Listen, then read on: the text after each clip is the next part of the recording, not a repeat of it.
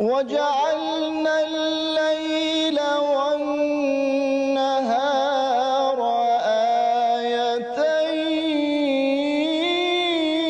آيتين فمحونا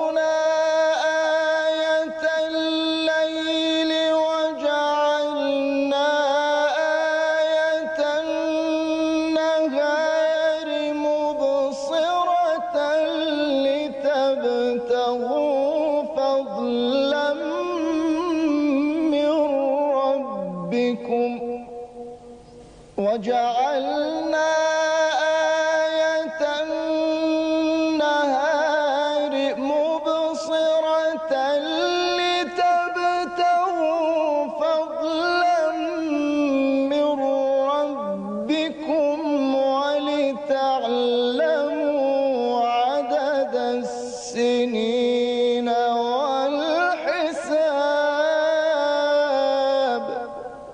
وكل شيء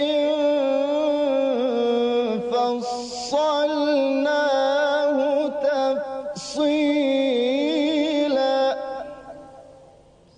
ما شب و روز را دو نشانه عظمت و رحمت خود قرار دادیم.